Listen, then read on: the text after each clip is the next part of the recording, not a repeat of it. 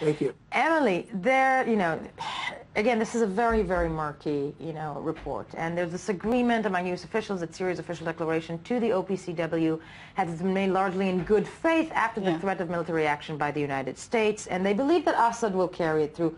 But, you know, putting that report aside, can we believe that this will happen?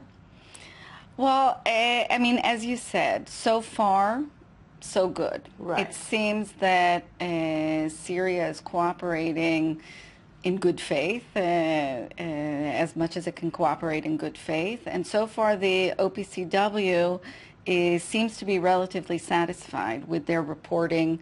Um, and there's even been initial uh, destruction of some of the production uh, facilities. So, in that sense, um, this report seems to be not in line with what we're hearing from the OPCW. On the other hand, I would say, and first of all, this report does, I mean, we have to say that it does say that there's nothing definitive. Definitive, so right. There's just um, they be. are, you know, Yeah. uh, not not uh, uh, reporting this as some kind of clear intelligence that. Still, I mean, it, well, it Yeah. look. I mean, it would surprise me if we don't see reports like this uh, over the next uh, six to seven months until, because um, I think the sense is, first of all, Syria was deceiving the international community for years. It does not have a good track record Right. as far as being, you know, upright. Let's not forget there's the chemical issue. There was also the nuclear issue. True. Syria is a member of the NPT, the Nuclear Nonproliferation Treaty. They were cheating on that. There was a facility. It was bombed.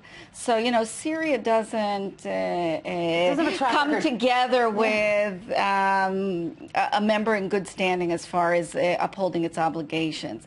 Um, up until recently, Syria considered its nuclear weapons capability as a real strategic asset. So when you think of it in that in those terms, it would make sense that Syria might be trying to find some way to retain some part of its nuclear weapons capability. So it's not something that would be, you know, So that, that should exactly so shocking or s- should surprise us. Um, they do say in the report that they're going to try to, you know, check this information with through various intelligence means, whether satellite imagery or operatives on the ground. I think they're intercepting, you know, telephone conversations, etc. So we'll have to see how how How that- how that yeah um, No, I mean, the time will the tell, but of course, you know, if that breaks apart, then, you know, the, the, the options on the table we all know aren't, um, you know, aren't good for Yeah, but but I think the main message is Syria is cooperating, and at this point, it does. Uh, the situation looks much more positive than negative. Right, but, but, I mean, you know, that's, the word positive um, um, being heard in that sense is, is always a good thing. I want to move um, uh, to Iran. Um, uh, talks begin today, still in foreign policy. Nuclear talks between world powers and Iran resumed today in Geneva. Last round of talks and on an optimistic note, and ahead of this round, Iran's foreign minister said a deal could be struck this week. Emily, okay, um, is that even possible? Um, I would not put a lot of money on that happening in the next two days. No, I know, because and, and before you continue, because there are reports even as you know as early as this morning that the U.S. might be willing to ease sanctions in return for Right. six months of monitoring. Exactly. I mean, what seems to be on the table right now, which I think is a little bit dangerous, I can talk about that.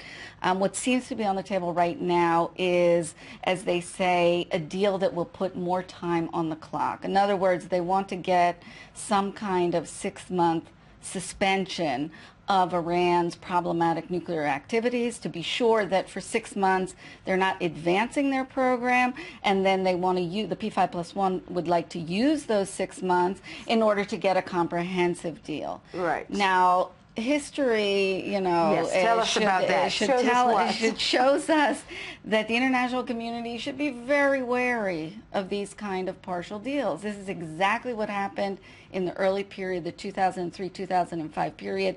There were two short periods of suspension of, of these were pre-uranium enrichment activities, Right. uranium conversion.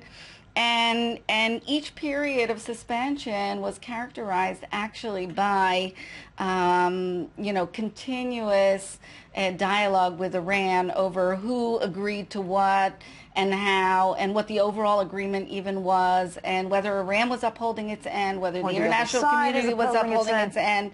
And this just becomes a platform for continuing bickering over the terms of the agreement, which is the exact opposite of this whole idea of, you know, a confidence building measure.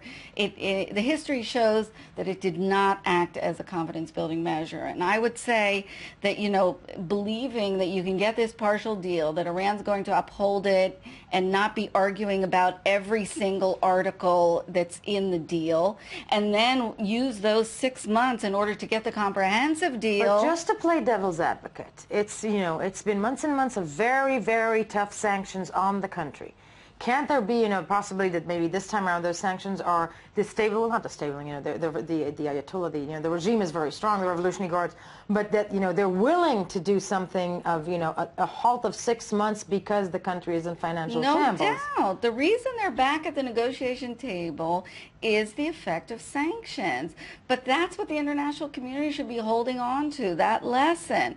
Yes, pressure works. Works. It brings Iran back to the table, so don't let up the pressure. No, you don't let up the one thing that has helped you in this very difficult discussion. Now we hear this unnamed, you know, American official saying the last thing we should do is to go for additional sanctions because that will undermine the diplo- the diplomatic process right now. But it's the sanctions That brought the that table. brought them to the table. So there's they're sort of, you know, I mean, we have to say the again, a little bit of a, you know, logic, uh, in a problematic Middle manner. Eastern mentality in I think respect. it's everyone's mentality, actually. I mean, this is all about, you know, strategic bargaining processes, and the Iranians are not doing anything that is, you know, is so very different from any other country that was trying to To- achieve what Iran is trying to achieve. Emily Land, Dr. Emily Landau, thank you so much for joining us this morning. Um, uh, always enlightening words, as, as you always bring to the table. Thank you.